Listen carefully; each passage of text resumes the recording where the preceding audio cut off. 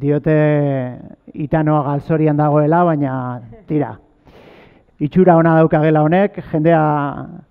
e, irurogei apuntatu behar zirela eta laro gira zabaldu dugu, beraz, bueno, ez da datu txarra egunari ekiteko.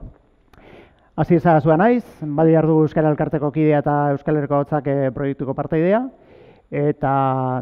ba, tira, e, ongi etorria eman nahi dizuegu, antolatzaile, laguntzaile eta babesle guztien izenean, eskerrik asko gaurre oinatira etortzearen, e, Euskal Herriko lehengo ikatopaketa honetara, topaketa bat izango da. Hau da, ez da jardunaldi bat, ez da itzaldi ziklo bat, topaketa bada eta helburu nagusi hori izango da, ez? Elkar ezagutzea, elkarrekin egotea, esperientziak trukatzea, e, entzungo ditugu, han kartel batzuk eta materiala ere ikusi duzue, elkar ezagutzen duzu zuetako batzuek, eta gaur itzaldietan eta mai inguruetan ere ikusiko dugu, nola ita, itanoaren inguruan ere eta e, aritu zaeten ba, hainbat esparru talderditik, ez? Batzuk ikerketatik, etnolinguistikatik, hizkuntzalaritzatik, batzuk irakaskuntzan, e, genero ikuspegitik landu duzue, alduntzetik, batzuk nagusiekin, beste batzuk gaztetxoenekin. Dira, e, hainbat esparrutatik landu dugu itanoa, eta gaurko helburu hori da, esperientziak partekatzea, elkarre ezagutzea, eta ba, lehenengo e, topaldi honetan, e, oinarri batzuk hartzea. Eta nik uste dut bigarren helburutxo bat ere izango dela, galdera bat egongo dela horra irean, e, egunean zehar eta batez ere arratzaldean eta da, vale, honetan ari gara, hau egin dugu, eta orain zer, ez? Zer egin behar dugu, nora joan behar gara, zintzuk, nola antolatuta, hori ere nik uste dut galdera hori e, airean egongo dela. Eta besterik ez, e, lehenengo ba, hau antolatzen aritu diran bi erakundetako ordezkari eman nahi diet izena, Izaro elorza e, oinatiko alkatea, ez da kasualitatea jardunaldi hau ertopaketa hau oinatin egin izana, eta han arazua UEUko Udako Euskal Unibertsitateko idazkanen nagusia eta ordezkaria. Beraz, Izaro, hane? Oso ondo, bueno, e, igual e, agian errepikatuko nahi zapurtxo bat, eh? baina, bueno, lehenik eta behin e, eskerrak emutia etorri zaeten danoiri, eta, bueno, ba, ongi torxa ematia oinatira ez da, E, aipatu da moduan hasierrek. Nik uste azken urtietan, bueno, ba, itanua bizi berritzeko egitasmoak, bueno, ba, ugaritzen ja, e, dabitzala, ez da, gero eta gehiago egiten diala, baina askotan, e, gertatzen dena da, bueno, ba, biok e, bakoitza bere aldetik egiten dauela lan hori, eta, bueno, ba, jakin barik askotan bestiek zertan dabiltzan,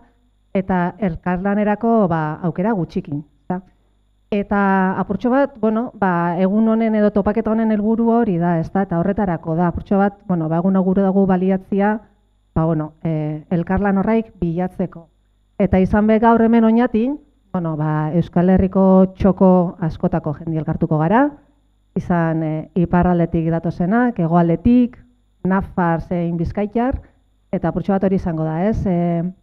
bueno, ba, itanuan inguruan, azken urtiotan, herri ezberdinetan sortu dian esperientzia horraik eh, ezagutzia. Eta topaketa honen helburua ziarra behipatu da, zein ja, ba, ba, bat ezbe e, eragileok, itanua bultzatzen zabitzen eragileoak batu, elkar ezagutu, eta, bueno, ba, elkarlanerako bidiak planteatzia. Eta hortaz, bueno, nik uste ondori ustatuko zebein moduan, gaurko topaketa hau, lan topaketa badala, ez da? Lanerako torri garela, Eta baigurako geke egun ontatik, bueno, ondorio batzuk e, jaso alizatia, eta nola bai, bueno, ba, ibilbide baten hasiera puntua izatia gaurko eguna. Em, egitaragoan ikusiko zenuten, bueno, ba, egun osoko egitarau bat e, dauela planteatuta, goizian e, itzaldi eta mai inguruak egongo diala, ba, bereziki hori zen, e, bueno, ba, hainbat lekutan sortu dian e, esperientzia horreik e, ezagutzeko, eta gero arratzaldian bai, ba, bueno, ba, ba eta proposamenak egiteko tartia izango dugula. E, bueno, ba, guretzat oso posgarritxa da e, oinatin dengo topaketa antolatu izana, oinatin hainbat esperientzia ba, martxan jarri e, ditugulako, ez, itanuan inguruan, eta bueno, ba, guretzako oso garrantzitsua da hori, beraz, e, eskerrak emuten e, bukatuko neken ere tartetxo hau. Eskerra bat ez be UBU eta badiar dugu e, Euskara e, elkartiari, ba, bueno, ba, gaurko topaketa hau antolatzeko ginako lan guztiagatik, eta eskerrik asko nola ez, zuei guztioi gaur ona etortziagatik, zuen aletxua jartziagatik, eta benetan espero duguna da, bueno, ba, gaurko eguna, bueno, aprobetxuzkoa izatia, eta, eta berazgarrixa izatia. Duan, bueno, ba, ea ze moduz joaten dan, eta, eta eskerrik asko da noiri.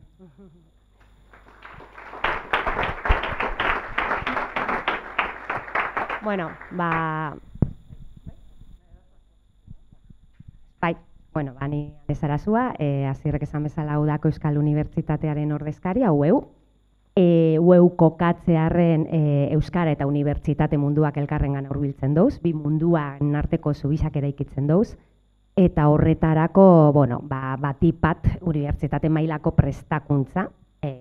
bideratzen eta diseinatzen dugu naiz eta argitaletxe bagaren eta bueno, unibertsitate mailako produkzioa, argitalpenak, aldizkari zientifikoak ekoizten ditugun eta euskal komunitate zientifiko hori, ez, euskaraz ikertu, irakatzi, kasi eta lan egiten duen e, komunitate hori trinkotu, sendotu eta eta ikusgarriago egiteko lanean gabiltza.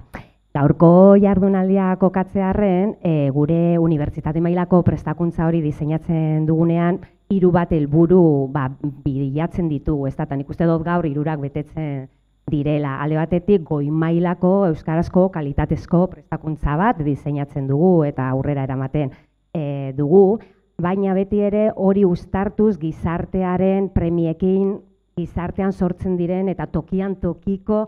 kezka, interes eta jakin minei erantzun bat eman nahiean, ezta? eta bestetik ba horren inguruko eta ezagutza hori partekatzeko, eztabaidatzeko, saretzeko, hausnartzeko, ba foroak, plazak eta topaguneak eskaintzea da gure hirugarren helburu horietariko bat, ezta? Udako Euskal Unibertsitatea orain dela berroi tamar urte betekin dituen e, igaz, berroi tamaika garren udako ikastaroak antolatu ditugu, Ipar Euskal Herrian sortu zen eta oso garbi izan genuen eta aintzindariek eta sortzailek oso garbi izan zuten Euskara Batuaren aldeko apustu egin behar zuela ueuk, goi mailan ere, akademian, unibertsitatean, euskarak ere, bere plaza izan, e, zezan, ba, e, izkuntza zientifiko bateratua beharrezkoa zela, ala ere gaurko ba, jende ba, eta parte hartze hau ikusirik eta gaurko eguna horrela azteak ere ba, beti ba, e, ezin hobeto azten gara gaurko eguna holako e, areto bat beteta ikusirik ba, garbi dago mm, gaur bertara e, urbildu zareten eragile, norbanako e, ikastetxe eta bertara hurbildu zareten guztiok e, sekulako lana egiten ari zaretela itanoa indar berritzen eta bai azierrek eta ordezkariek esan duten bezala e, e, agian ezarete elkarren gana inbeste ezagutzen, ero bueno, horretarako ere badela, ez da, zuek hemen egoteko, zaretzeko, eta eta esan bezala, ba, ur e, indar berritze horretan, ba, egunaren amaieran bebaizuek, ba, entzundakotik eta egondakotik eta hausnartze eta aurrera begirako norabide horretan, indar berrituri joateko bebai etxera, ez da, e, guk plaza eskaintzen dugu, eta ez dugu bakarrik eskaini, gure ondoan ba UEuren beste ezaugarrietariko bat elkarlana delako, elkarlan eskuzabaltasunez ulertzen dugun elkarlan hori eta hau ez litzateke posible izango ba ondoan izan dugun badiar dugu elkartarengatik, e, bide lagunak izan dira aurretik, gaurkoan eta espero dugu e, gero ba, etorkizunean ere, egoitza berean ere elkar gurutzatzen gara, eta hainbat ekimen atera ditugu elkarlanean, eta eta posik esan dezakegu ba, horrekin ere, eta elkarlanak suposatzen duen indar metatze horretatik, ba, emaitzak biderkatzen direla, eta ba, ezagutzarako,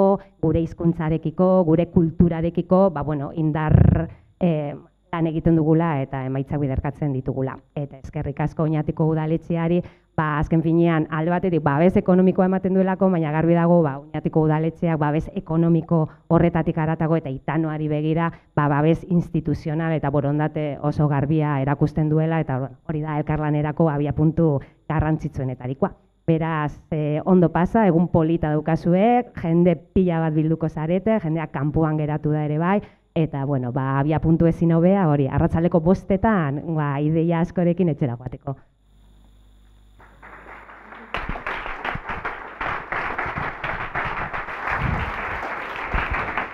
Ba, oso, no. eskerrik asko izarotan, eh?